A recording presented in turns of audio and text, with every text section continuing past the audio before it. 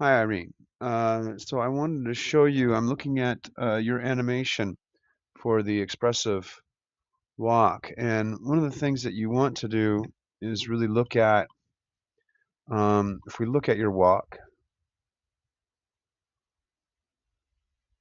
it's, it's pretty good. But one of the big things that really stands out is there's no uh, real follow-up animation, any some, but not much with the, the elbow here. We want to give some, some movement to the elbow.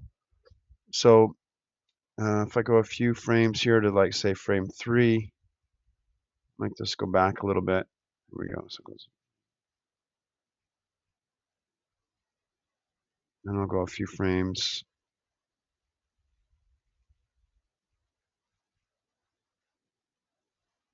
Know, 14, make it straighten out, and then at frame say 10, make it go a little bit this way.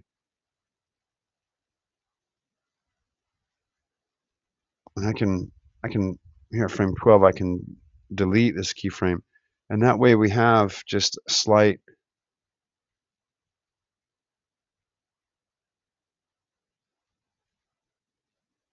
um, secondary animation. We can do the same here.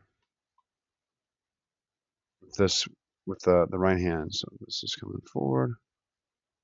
Okay, and then we'll go to 14, a few frames after 12, and make this come up. There we go.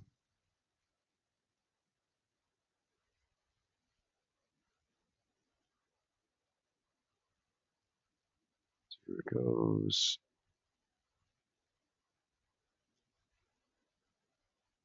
I'm going to make frame 1 be a little bit bent. And then we'll go to frame like 3, and then it'll straighten up. So frame 1 I'll copy here. Copy, and then paste it to frame 24. So see what I'm doing is that at these beginning frames, frame 1, even 12, I think 12 I'm going to delete. But we don't want it straight. We want the arm to kind of, it straightens maybe at 3, but then it's going to it's going to bend again and it's going to bend. It kind of has a bend to it most of the time anyway.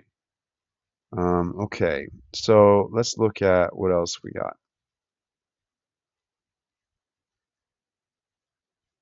It's not too bad.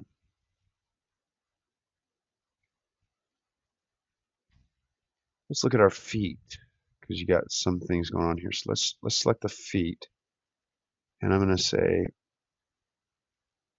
I'll select my channel box with the foot control selected. And I'll go up here to where it says like frame 3. And frame 3, if I have my toe up down.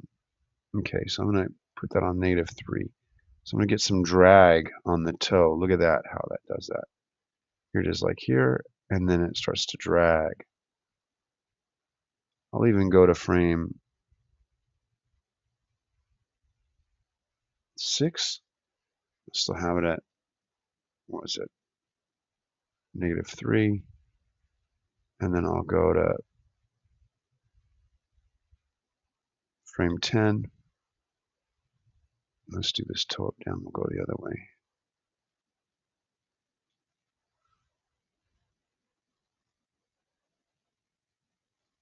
Actually,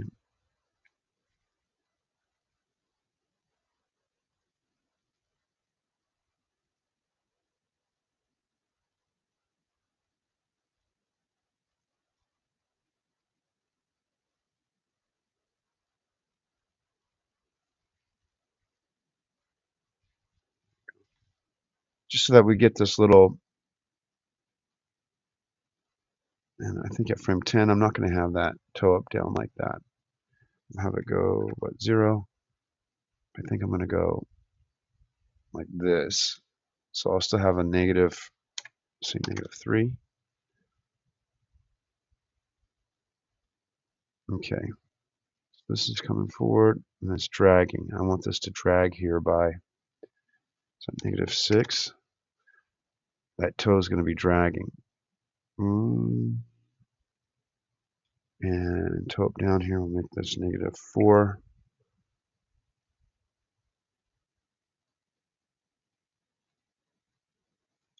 So let's push play.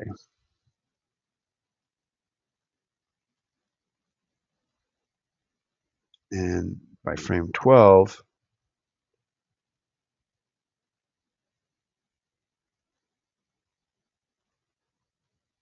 that go to 6. Okay. And all I'm doing, you see when it plays, I'm just giving a little bit of a flop to those toes. You don't have to do this. But I like to do it because it's just kind of like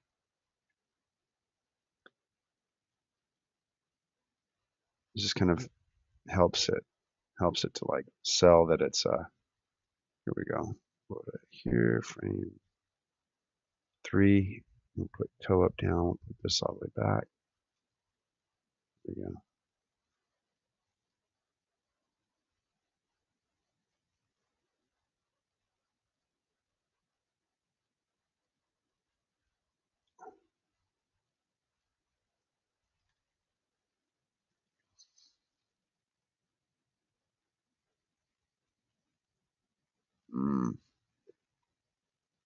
Let's see. No, this is going to go right here. I'll make toe up down.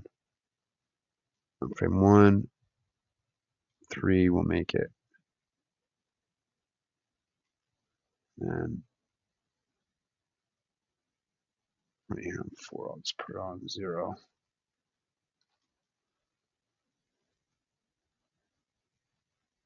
And then here we go, we're lifting up.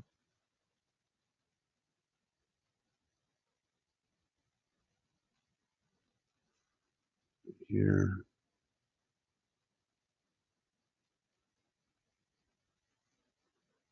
It's just dragging it.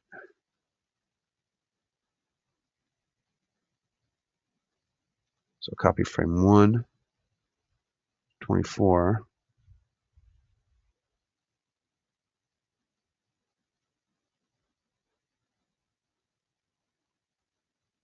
Just click play.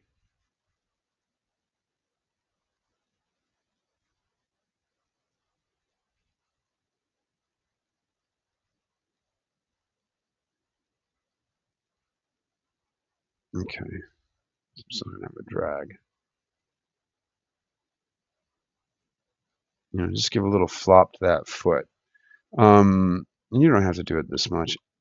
Uh, I just do it because it helps maybe sell this is sad. Okay,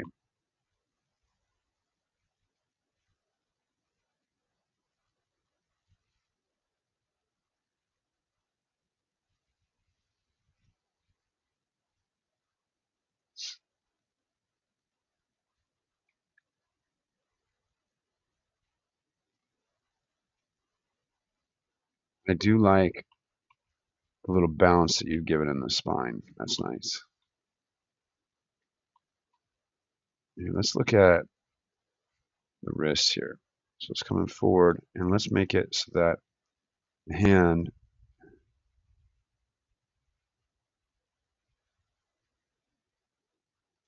this will come up so here, the S, and then at frame 12, we're going to make this drag, and we're going to make fingers drag as well.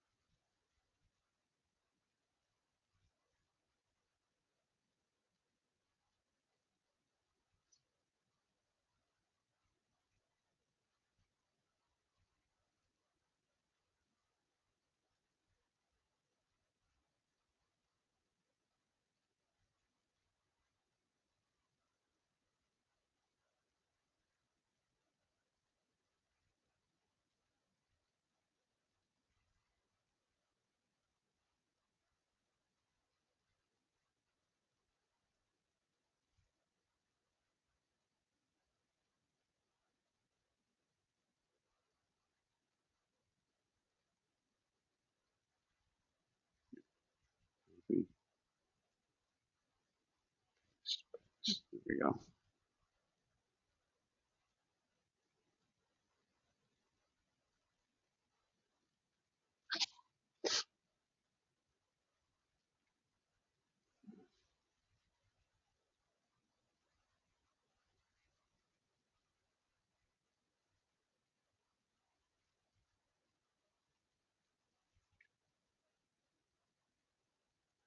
There you go. So you don't have to do all this, but I find that it just helps to add a little bit more droopiness to the whole thing. All right. Thank you.